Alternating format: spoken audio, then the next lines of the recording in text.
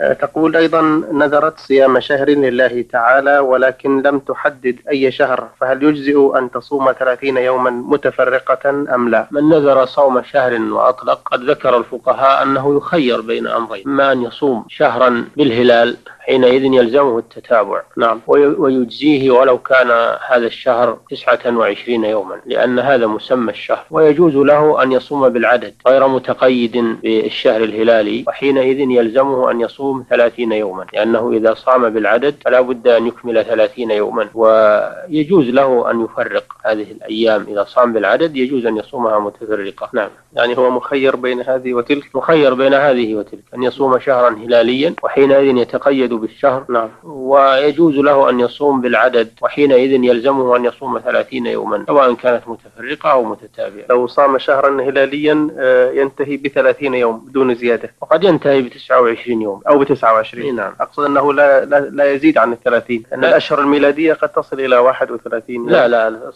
الشرع, الشرع لم لا يتقيد بال- نعم. بالميلادي. نعم. إنما يتقيد بالشهر الهلالي آه، سواء ذات الشهر أو بعدده. نعم. يعني ثلاثين أو تسعة وعشرين. أي نعم.